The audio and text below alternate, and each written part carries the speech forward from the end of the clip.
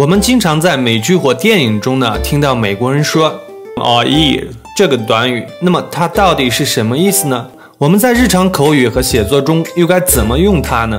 我们一起来看一下今天的视频。嘿，大家好，我是英语大侦探，这是我的新专栏——奇怪的英语搭配。前期会有十节课，如果大家喜欢，我会增加课程。我在这个专栏里呢，会跟大家讲一些既熟悉又陌生的英语短语。废话不多说，我们一起进入主题。如果我们从字面意思理解，第一个单词 all 翻译成中文呢是全部、一切；第二个单词 ear 翻译成中文是耳朵、听觉、听力。那么我们把这两个词连起来，就得到全部的耳朵、一切的耳朵，好像说不通。那全部的听力。一切的听觉好像也不太好理解。那么这个词它到底是什么意思呢？原来，all ear 这个小短语呢，如果用比较接地气的中文翻译，就是把你的耳朵竖起来，认真听的意思。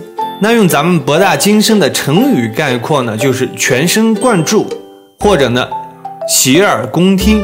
我知道这两个成语在中文中并不能通用。但是呢，也恰恰说明了 all ears 这个词在两种不同情境下的使用。待会呢，我会详细的给你例句，你就能理解了。我想先来说说这个短语的发音，主要说一下这个词 ear。也许是我们太习惯拼音了，我们看到一个英语单词呢，会想当然的发音。我听到很多同学把耳朵这个单词呢发成 ear。但是这里要提醒大家，它发的不是长元音 e，而是短元音 e。我在这里使用长短元音来区分这两个音标呢，是为了更多的人明白我说的是什么。实际上呢，在美式的 KK 音标中，甚至比较严谨的说，在美式发音中呢，它们两个不是长短元音的区别，也就是说，不是时间长短的区别，而是截然不同的两个音。好，那么我就解释到这里，然后再说一下这个尾音儿，大家记住一定要卷舌，发出儿化音的感觉。好，接下来我们看一下我们应该如何使用这个短语。我们先来看第一个例句，Go on with your story, I'm all ears。继续讲，我洗耳恭听。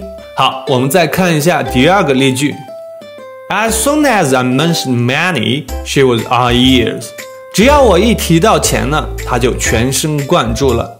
从以上两个例句这个词所使用的情景当中呢，我想你应该明白为什么我说这个词呢能用两个成语表达它的意思了。